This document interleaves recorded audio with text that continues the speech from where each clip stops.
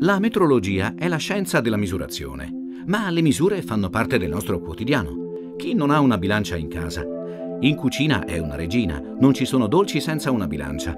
Misuriamo la quantità di farina, di zucchero. Solo se la bilancia misura bene e se la ricetta è buona, avremo il nostro dolce come deve essere. Diversamente rischiamo di buttare tutto, tempo, soldi, energie.